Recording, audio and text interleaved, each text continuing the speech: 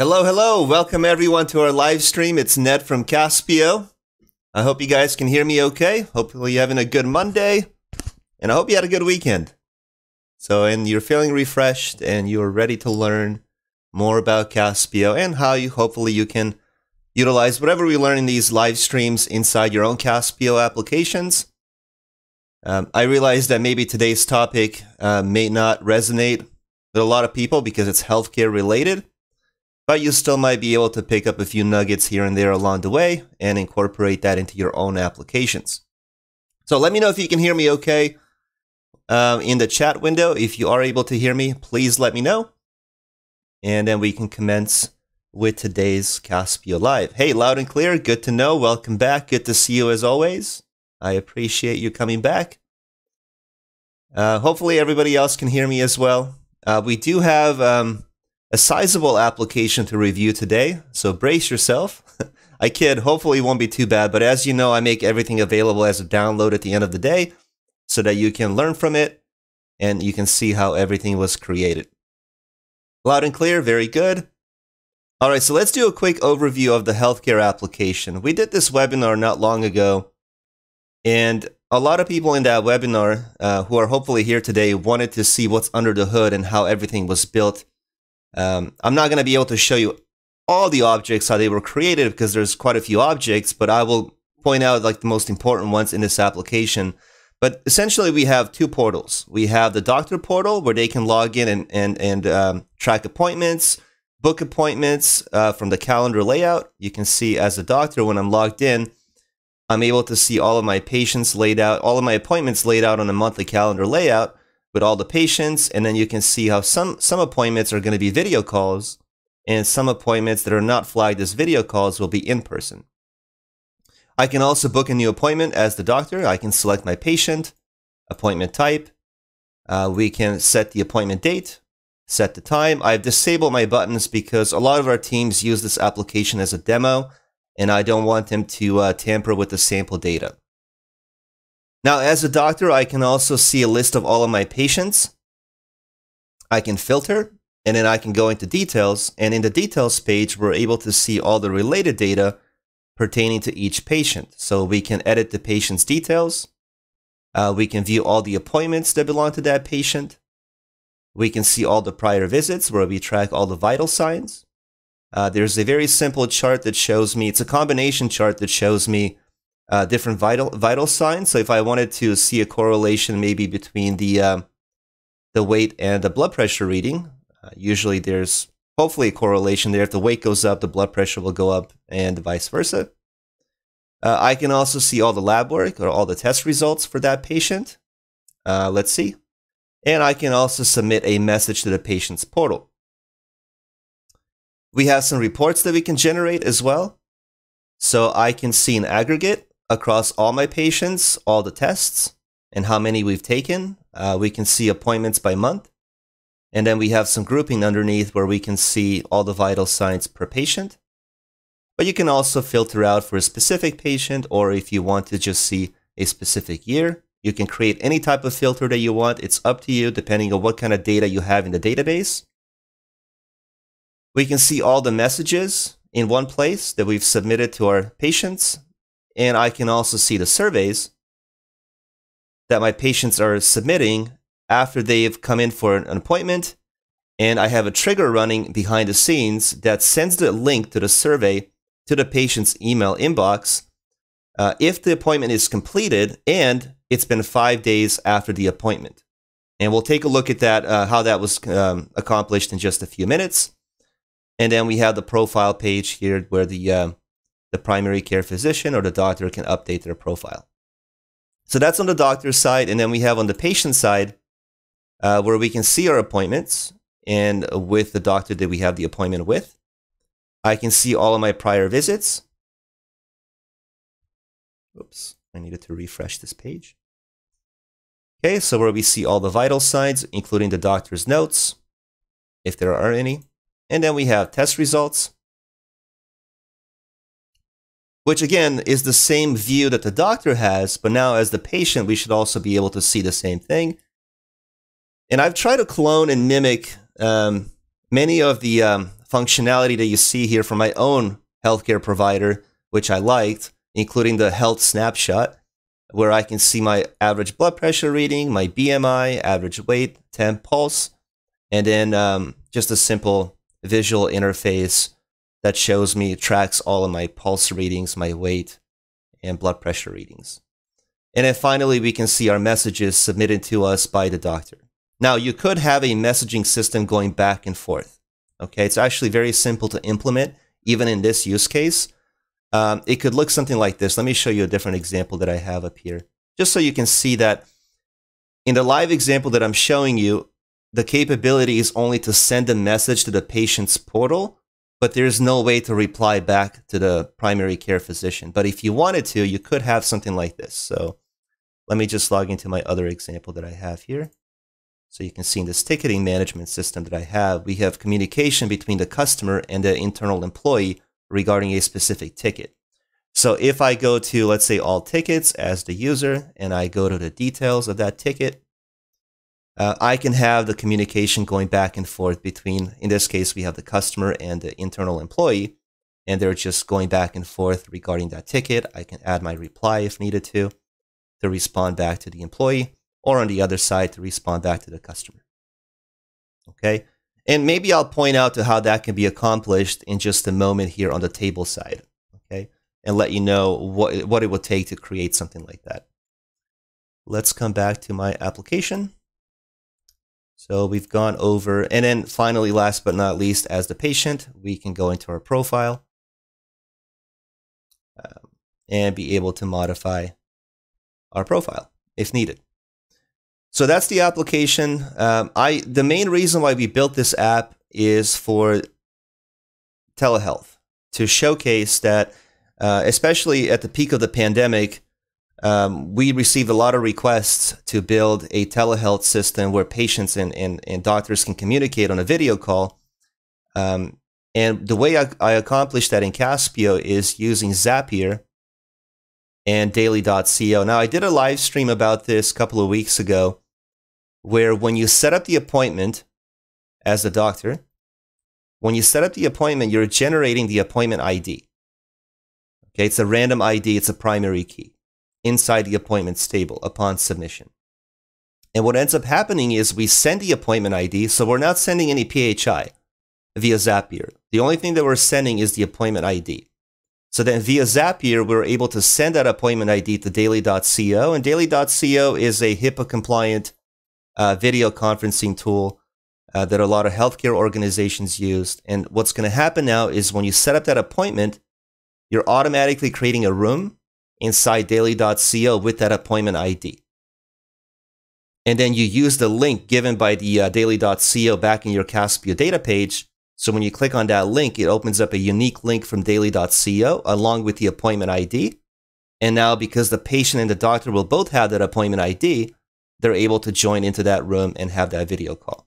And I'll show you how that was uh, how that was built in just a moment here. So let's go inside Caspio.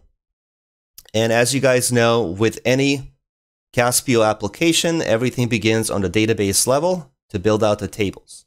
Tables are the foundation of any app, and they are the most critical piece when it comes to designing database applications. So this application has a total of eight tables. Um, we have the table for our doctors and we have the table for our patients. I'm also using directories. Uh, directories, think of directories like a built-in IDP that Caspio provides. Uh, there are a lot of security capabilities and benefits to it where you can have two-factor authentication enabled. Uh, you can have uh, reset password capability and a lot of other password security policies that are enabled. Now, the approach that I found the easiest, especially if you're building a brand new application from scratch, is to actually build the tables first. So let me show you my doctor's table. So I have created my, I didn't even create the user ID. I actually didn't even do that.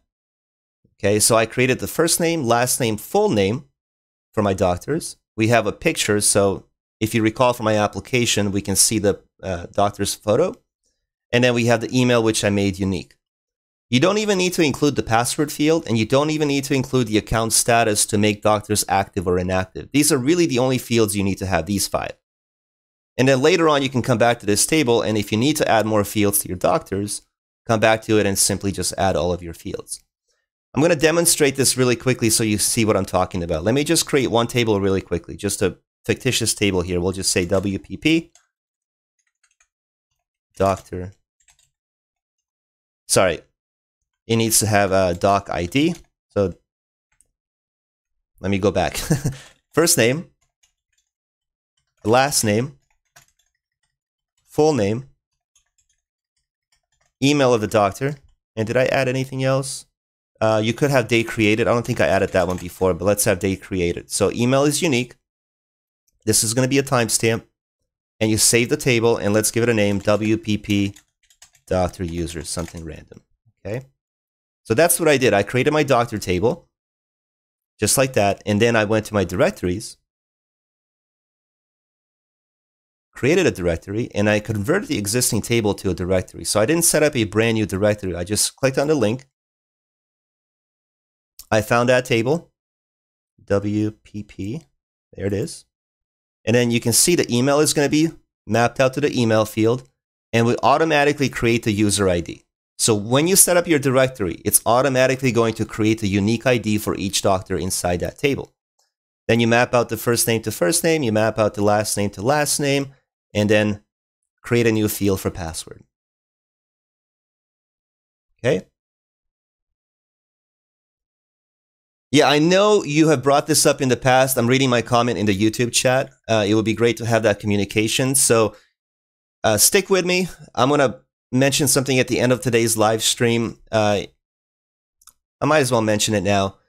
Um, you see this application that I developed? What I was thinking we could do um, in the future live streams is we could have a series where I show you how to build this, all of this from scratch. This entire application. I'm still working on it, this ticket management system. But if you guys would like, I can divvy up my live stream into, let's say, three sessions where we build this entire solution from start to finish together and then you can see how everything is created or do you do you prefer having more of like a quick tech tip type live streams it's up to you uh, we could try it and see if it works out if not we can go back to how we have our live streams where we only showcase just certain features about the Caspio platform as opposed to having three different sessions as a series to build the entire solution so just let me know what your preference is in the chat window. I can even do a poll later on to see how people feel about that. But if you want to see a full build, let me know. We just have to separate it into multiple sessions because it would take time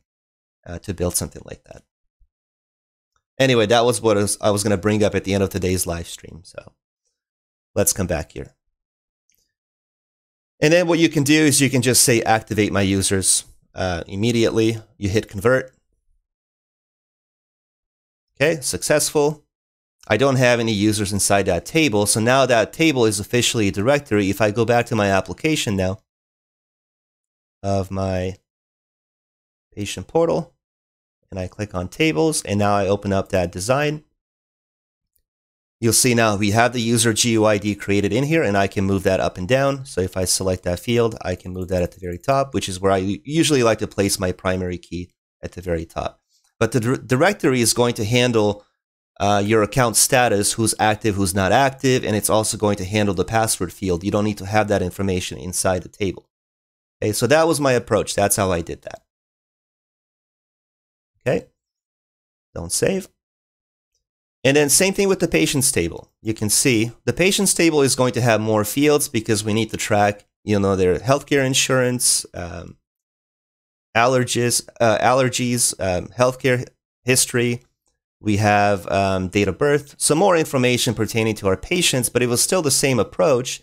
I didn't add the password field and I don't have the account status field. That was all created by the directory on my behalf automatically. Okay. Then we have more or less the main table where you still store all of the patient information. So if we Sorry, we just looked at this table. My apologies. The main table would be the appointments table. And in the appointments table, it's, uh, it's a many to many. You have the appointment ID, that's the primary key that you create. And then what you're storing here is two foreign or two foreign keys. You have the patient ID and you have the doctor ID. Because you need to associate the patient to the appointment to the doctor, right? So one doctor can have many appointments for many patients, but that patient can go see more than one doctor, right? So that's why you need that joining table of appointments so you can see, you know, who's matching up with who. Um, and then we have four different fields here. We have the AM PM. I'm going to point this out in just a second. We have the appointment status. We have the appointment type. So the appointment status is basically going to be, uh, is the appointment completed? Is the appointment brand new uh, or pending? You know, you can have different statuses.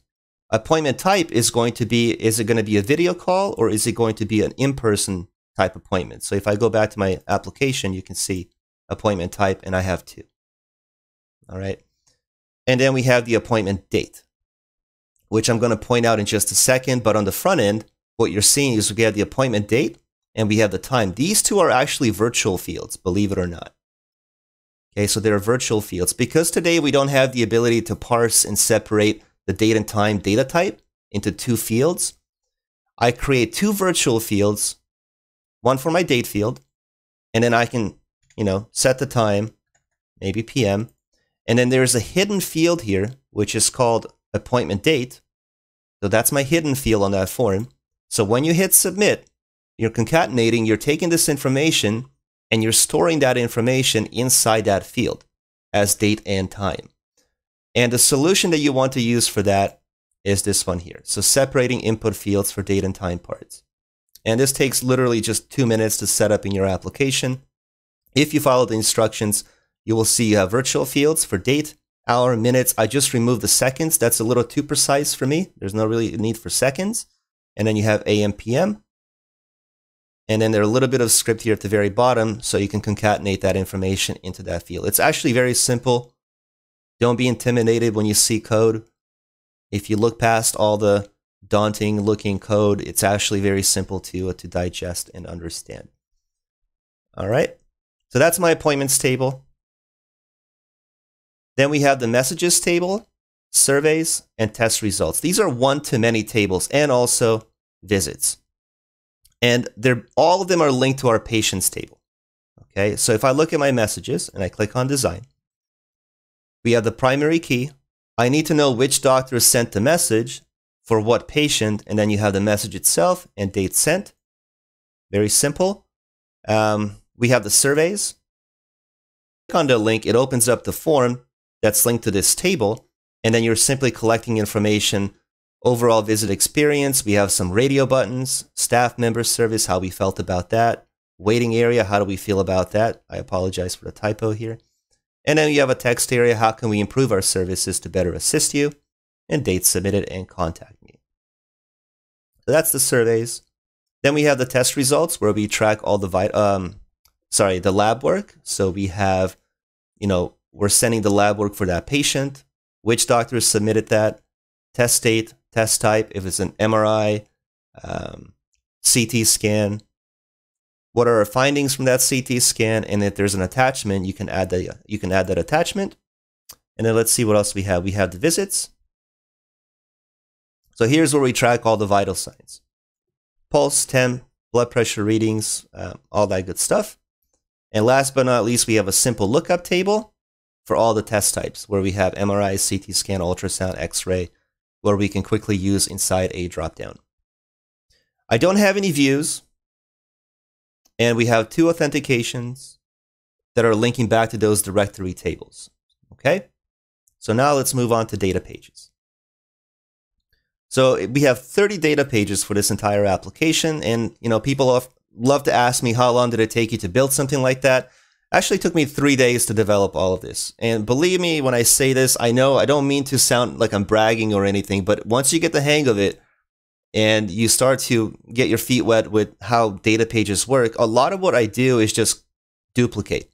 When I build data pages, if it's a similar data page that needs to be modified slightly, I don't just create it from scratch. I just make a copy of it and I modify it to apply a different RLS, record level security, or different authentication, and then I just remove and add fields based on the user role and who has the ability to edit or just read the data. So that's why it takes me a little bit faster to develop this. I know how to copy data pages um, and just modify them slightly. So then on the front end, the main one that we're looking at is this calendar one when we first log in, right? So that data page, it's going to look um, very daunting. So brace yourself. Uh, but again, I'm going to try to explain everything in a clear, clear way so you understand what I did because you're going to see some low code as opposed to no code. And for those who are attending these live streams for the very first time, Caspio is first and foremost a no code platform. You can accomplish a lot using no code. But the benefit is that if you apply low code, well, now you can remove a lot of, um, um, you can increase your creativity and remove a lot of limitations in terms of dynamic workflows and things like that. Okay, so if I hit next, uh, one, you'll see I'm using my appointments table as the data source because we're trying to feed that calendar with the information from that table. I'm using my doctor authentication. Uh, I am filtering my data, even though I could add a search form. So it might be helpful to have maybe a search interface up here if you'd like to be able to pull up just the appointments for a specific patient. That's something you could do. Uh, my appointment date. Now, one thing that you'll notice here, I'm using a value, a static value, January 2023.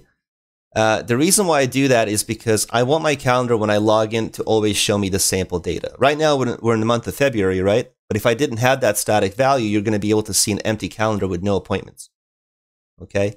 So that's the main reason why I did that because I want the sample data to show up right away. Okay, and then now you're going to see uh, what looks like intimidating code, but it's really not. So inside my HTML block, which you can insert very easily, I have a very simple div object. And all I'm doing here on my calendar, you can see the background color, this light gray or light blue. Okay, so you see the background color. And all the uh, information that you see in this div object is presented inside this blue background that you see, or light gray. Okay, so let me explain. We have some padding around our text or the information inside that box. We have a border radius of 5 pixels. That's why you see this round edge. And then I have a hyperlink. Okay, so this hyperlink here takes me to patient's details where I pass the patient ID. All right, and we have a lookup which looks into the patient's table to display the name. So on the front end, that's how I'm able to display the name, but you can see it's a link that takes me to patient's details where I see all that related information to, uh, for each one of my patients. Underneath that, we have a simple line break. We have the appointment date, which is measured just in time. So when you're inserting the appointment date, you can see I can only insert the time, short date, long date, or a string. So I just pick the time. That's why you see this at symbol to only display me the time on the front end. And then we have the link to the video. So another hyperlink. And here's the static link given to me by daily.co forward slash appointment ID. So when you click on that link, let's say this one here that has the video call, it opens up that link given to me by daily.co with the appointment ID that's generated by Caspio but passed via Zapier to daily.co. Okay. And now I also have another trigger running in the background that sends the appointment reminder to the patient one day before the appointment. You can also do it one hour before the appointment. That's also helpful. So you can send multiple reminders. And then they click on that link and now they can have that video call using daily.co. Okay, so hopefully that explains it. And if you'd like to study that, just download the app later on today, import it into your account, and you can see what I did. There's a very simple script running here to hide, hide the status or type in person. Okay, so if it equals to in person, you can see I'm using display none, so don't display uh, the appointment type. So if the appointment type is in person, style display none. That's why on the front end, you can see some of them have a video call, but if the appointment type is in person, it's not going to be displayed. Okay. And then because you have to have one field in the results page, I'm using a simple div tag here to say display none to hide that field and then closing to close that uh, on the calendar layout. Now, another thing that could look a little bit daunting here is inside the header and footer. Now, I did a live stream on this a little while ago. It's super simple to implement. It'll take you five minutes to do this, I promise. Even though you're about to see some gigantic code that looks super intimidating. It's really not. If you follow the live stream that I did not long ago on using a Bootstrap modal plugin, uh, it'll take you five minutes to do that. And even in the description of this video, you can download the Word document that contains my full instructions on how you, how you can do what, what I'm about to show you. And this is just copy and paste into your data page. You don't even have to do any other modification. Maybe a slight modification, but if you follow my instructions, you'll be able to do it yourself. And what the code is doing inside the header, uh, you're going to be able to see this code, which is essentially a button. So on my front end, you're looking at this button up here for new appointment, which opens up that modal plugin to a different data page. And the code that you see in the footer that you can copy and paste from that Word document is basically that screen that pops up where you have a different data page. So now when it comes to booking the appointment, let me cancel out of that data page. So this is our appointments data page. New appointment data page is a submission form that allows you to book that appointment. So if I click on properties, all you do, and you can follow my instructions, is just copy this part of the app key. Okay. And then when you edit that button, so let's go back to our calendar. I just want to explain how this works so there's no confusion. So you see the app key here? That's the same app key that I just copied from that submission form. And that's how Caspio knows. So when you hit that button and that modal uh, pop-up opens up, you're basically placing that submission form inside that pop-up. Okay, that's why we grab the app key and put it inside the button. Okay, let's cancel out of that. And I do want to show you one more thing here, the new appointment, which is that submission form that I just talked about. I want you to see uh, what I'm doing with the submission form because I talked about it where I'm using virtual fields. Okay, so these two are virtual fields and I have a hidden field that's concatenating that information using a little bit of script. So we have virtual fields for appointment date, virtual field for time. Um, what is this one here? Oh, for minutes. And then we have this one here for the dropdown for AM and PM. Here's my appointment date field. You can see that it's a hidden field but we're taking this information and we're storing that information inside that field, which is a hidden field. And the footer is basically just doing that for me. In the footer, the script is doing that for me. So if you follow that script, that's under how to, which is this one here. Super simple. I promise you. All you got to do is just copy based on your localization. So I picked the one for US. I copy that script and I just removed the one for seconds because I didn't really need that to, to, be that precise. So I just removed this, this variable for second, okay, from my script. And then you can see it takes your values from date, hour, minute. I remove the second, AM and PM, and it basically just concatenates that into your field, okay. Let's continue to our patients. This is a very simple tabular report that anyone can do. Uh, this is all using standard features. So if we go and cancel out of that, finally something with no code. so let's take a look at manage patients. Tabular format based off of the patients table because that's where the information resides. You create your search fields. You create your results page fields to display the data. And I do have a very simple hyperlink here, which I made the full name to be clickable to go to my patient's details where we pass the patient ID. So this is a clickable name, you can see. And then when you click on it, we go to patient's details where we now see all the related information pertaining to the patient from other tables. So I'm going to cancel out of that. And the one that I'm going to show you is, again, this is all very simple using that modal plugin, that pop-up. When you click on that link, it opens up different data pages, right? So you can edit the profile, you can book a new appointment from here, you can see. Same thing for that patient. But the one I want you to see is this chart where we see the vital signs and we're doing some basic calculation here in the bottom row. So if we look at uh, visits, this one here. No, not that one, sorry. Not that one. It's the one with the chart. This one. So I'm using a combination. We're going to hit next. So based off of the visits table, because inside the visits table is where we store you know, all of our vital signs, blood pressure reading, uh, BMI, all of that good stuff. So we hit next, filter. We want to filter that information based on the patient ID. So we now need to receive the parameter name, PID. And in the results page, you have all those fields from the table and I'm using aggregation. So if I click on the insert button, I can add my totals and aggregation. I moved all of my values. You can see all the fields. And all I'm doing is a function average to get me the average across all of those columns. That's why on the front end, you can see we have systolic, we have the weight, BMI, pulse, and then we're doing the average for each one of those columns. Okay. And then we have doctor's notes. So that's simple uh, field. And in the advanced tab, you're able to truncate and have the user uh, expand and collapse. So on the front end, you can expand and collapse if you need to. And then we have the chart, and I used a combination chart. Um, and you can insert additional values and axes inside the chart. I have a total of um, one y-axis, two, three, and four.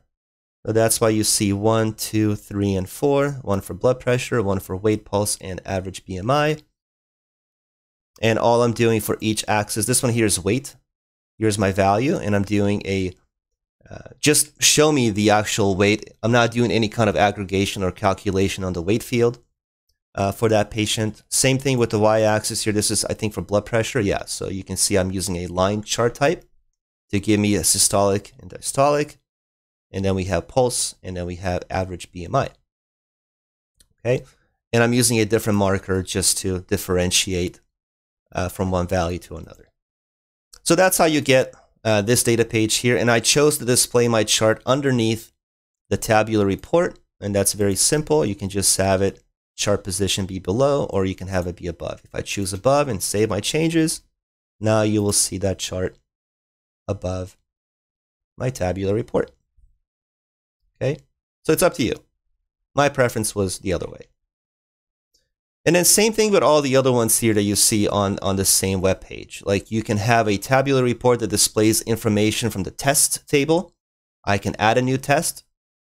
One thing that I will point out about that modal plugin. So once you use that code in one data page, and I'm referring to the one in the footer section. So if we look at, let's say, patient's profile. Okay, so let's take a look at patient's profile. Where is patients? So patient's details. If I click edit, again, in the header section, I need to have my button that's going to open up that modal plugin. But in the footer section, I have that long code that's used to have that modal pop-up, right? Where we can place other data pages inside. But once you have multiple data pages on the same web page like I have here, okay, um, you don't need to reuse this footer code in multiple data pages. You just use it one time inside one data page. Notice how in this data page, which is, let's say, this one here for patient appointments. So I'm going to open up this tabular report. Uh, which is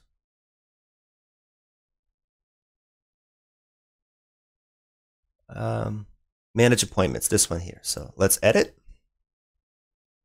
You will see that in my header section, I have the button, but in my footer section, I don't have that code. Like I said, if you have multiple data pages embedded on a single web page, you don't need to use that footer code in all of your data pages. You just need it in one, in one data page. Okay, and then the application knows to reference and call out that footer from this data page in all of your other ones. You still get that pop-up and you just have to use the right app key in the button to launch that data page inside the pop-up window. Okay. If you were using standard features without the modal plugin, then if I click on that button, it's going to have to open up a new page in my browser or just in a new page overriding that same tab. So if I click on that link, I go to a web page where I have my form embedded. That will be the simpler way of doing it if you don't want to use the modal plugin. But it's so much nicer to have everything all in one place uh, where you don't have to now load a new web page and embed the form there. It's seamless and it's very easy uh, for the end user as well. All right, let's take a look at a few other ones here. So for reports, we have, uh, I don't really need to show you too much here. This is all pretty standard. You have a filtering option at the top. We have the chart, pie chart, uh, that shows you distribution of all the test results. Uh, we have a 3D chart that shows you appointments by month. The only thing I don't mind showing you here is this tabular report that shows all of the data uh, grouped. So you can see how that was done. So let's go over here and click cancel. Um, and that one is called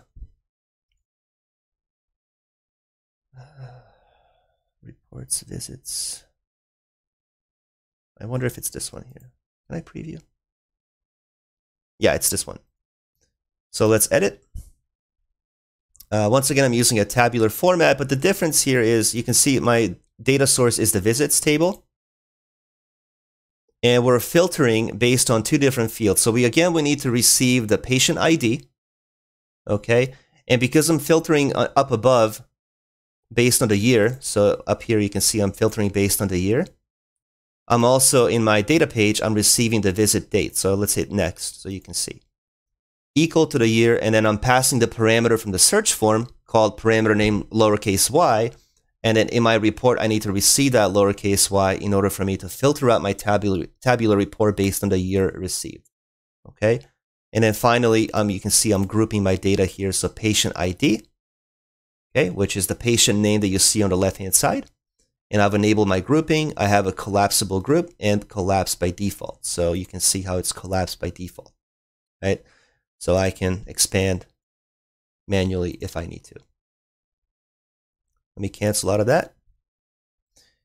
Uh, let's come back up here. Messages I don't need to show you. That's very simple. Surveys, I'd like to show you my triggers so you can see how that was done. Or was it a task? I think it might have been, yeah, the task. So send a survey email.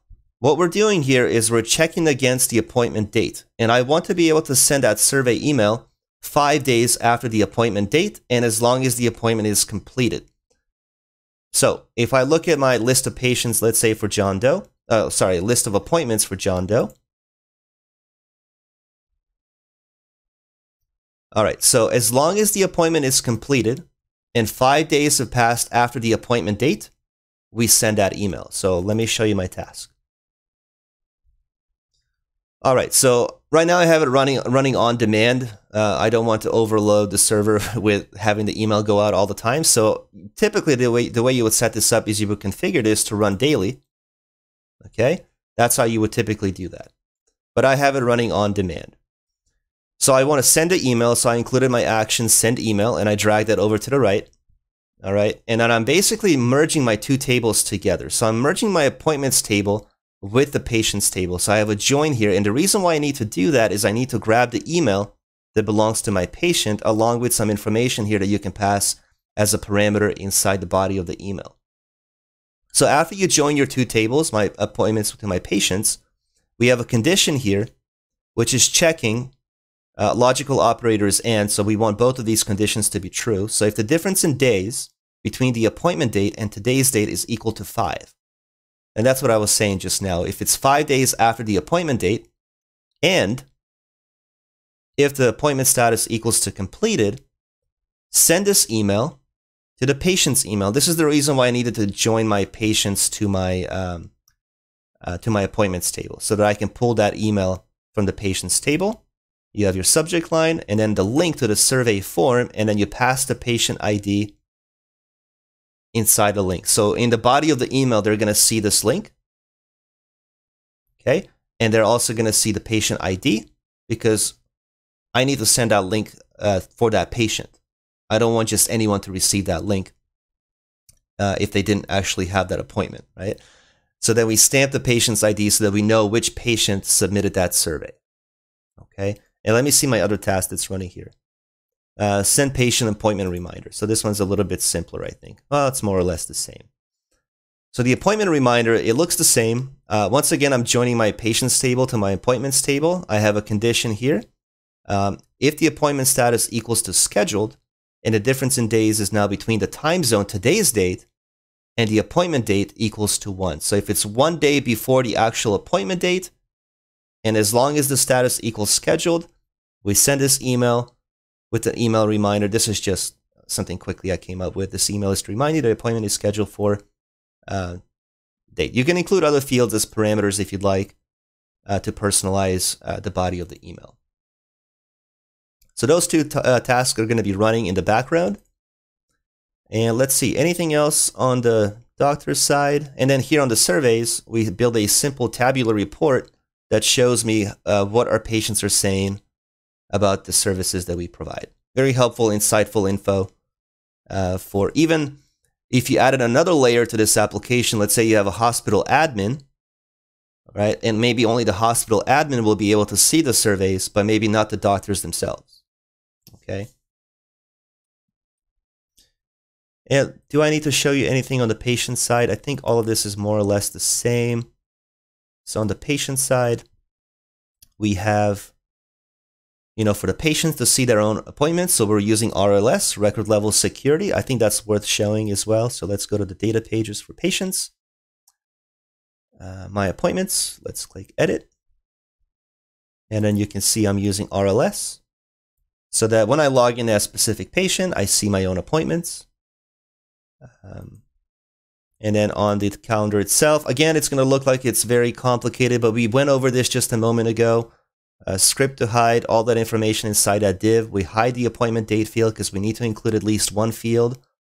And if you would like, now, if you would like to have a button for your patients to book their own appointment, you could include a button up here as well.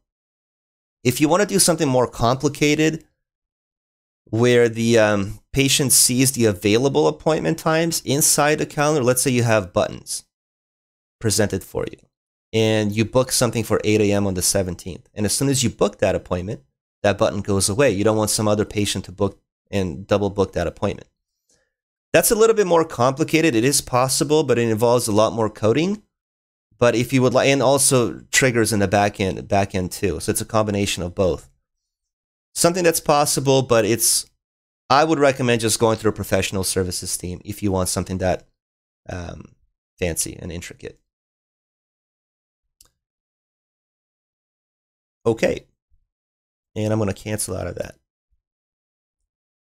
Let me know if you would like to see anything else here. Everything else is more or less the same. Uh, you have a tabular report using RLS to show the patient their vital signs. Again, RLS to show the patient their test results. RLS to show the patient their um, vital signs and averages, and then message center so that we can, again, using RLS to so we can see just our own messages as the patient. And then finally, you have the profile view as the patient so that you can edit your own profile. Okay. Simple app. Uh, you can definitely expand upon that if needed, uh, depending on your use case and what you would like to have it. Yeah, you can download this app by the end of the day. So inside the YouTube description, so if you come back to this video later today, and if you expand the YouTube description, you'll see a download link where you can download the entire application and all the objects. And again, the reason why I recommend that you do that, one, I don't think it's going to affect your naming convention with your existing tables. I always try to come up with a unique prefix for all my tables. You can see WPP which stands for Webinar Patient Portal. I don't think you have other tables that have the same naming convention. So it's not going to, you know, create organizational issues for you when you import the data, uh, when you import the application. But when you import it, you're going to be able to see it on the homepage as Webinar Patient Portal. You can open it and you can study and see how I did it. And you can repurpose a lot of what I do in this application for your other projects as well.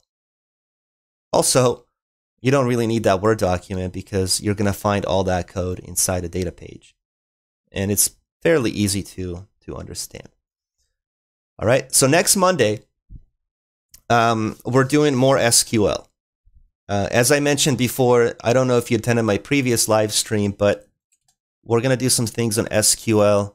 I wanted to show you, which is something I should have showed you because I said in my previous live stream that I would follow up on that, but I never did. So that's my fault.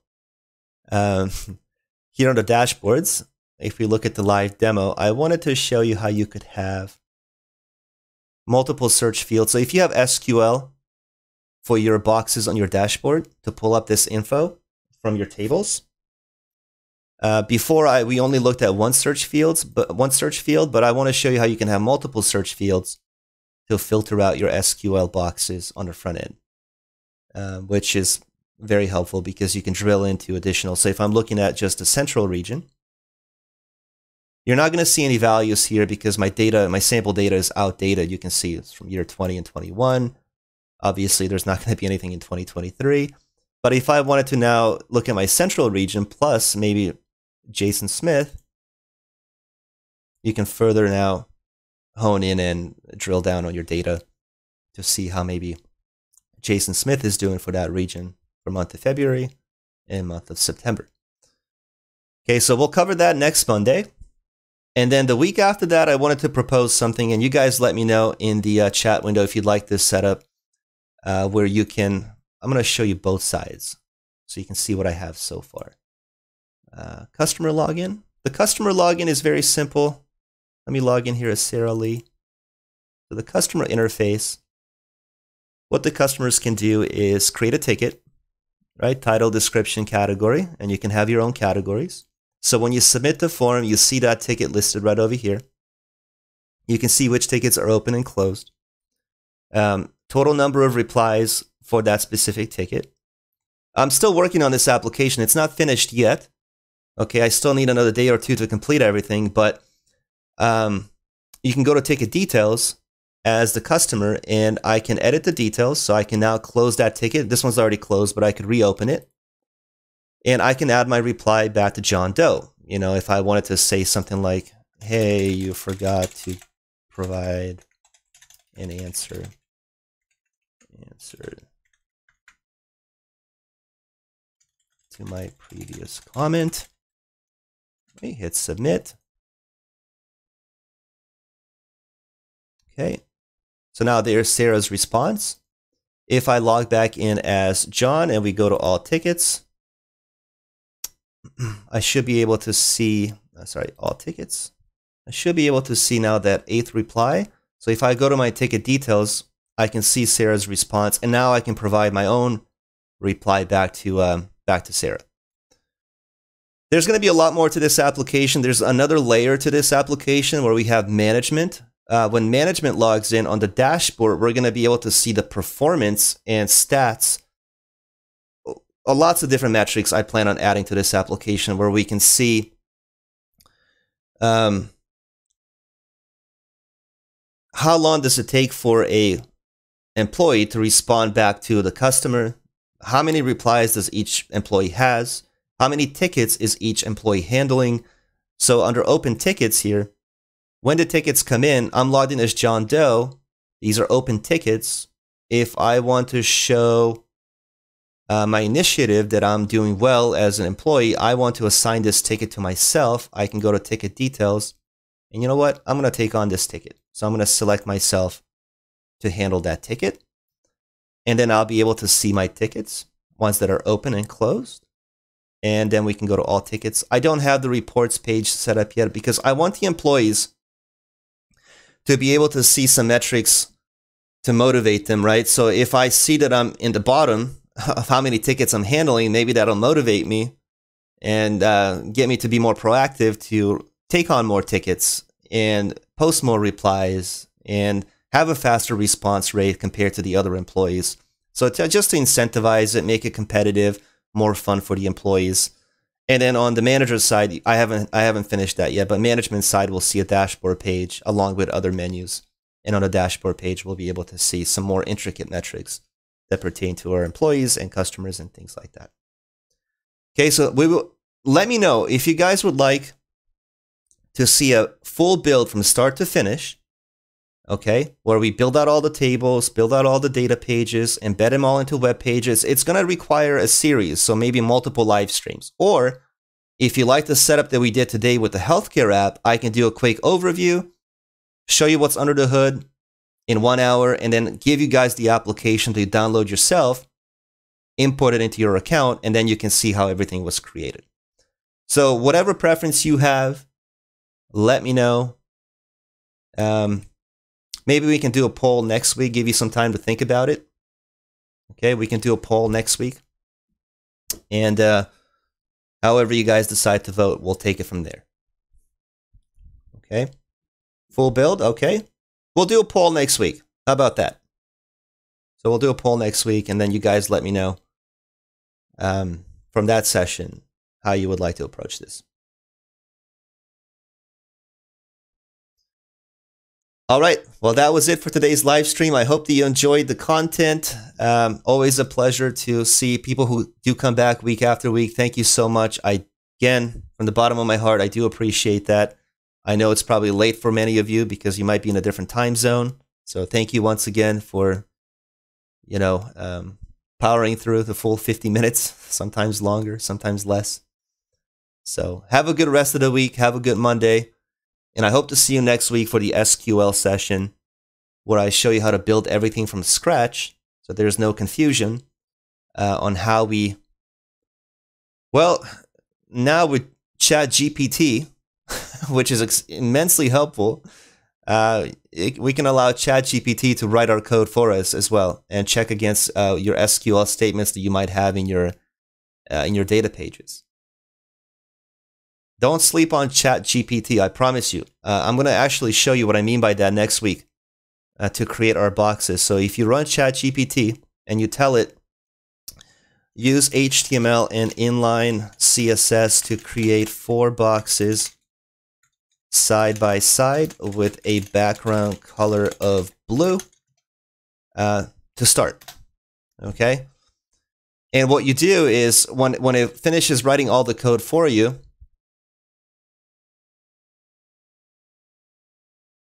you're going to just simply copy and paste that into your Caspio data page HTML block. And then you feed the calculated value inside those four boxes.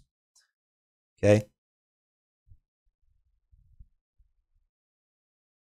And then later on, you're going to see, um, I'm going to try to use ChatGPT just for fun. How inside, in between these two brackets, you're going to be able to feed a parameter, which is a calculated value from Caspio, to display that calculation inside the box which is basically how I get these four boxes in my applications. Give it a second. Uh, held snapshot. You see these four boxes here. Okay. Super, super, super helpful. I've I've given this thing quite a few tasks and it hasn't really failed me. So it's very helpful uh, from a lot of different perspectives. Um, all right. Once again, thank you all so much for attending the live stream. I'm going to end the live stream now. Uh, I'm going to keep the chat running for a few more minutes. If you have any feedback or questions or something else you'd like to see in our live stream, let me know. Otherwise, I'll see you next Monday for some SQL um, training. All right. Have a good rest of your week. Thank you guys. Take care. Bye bye.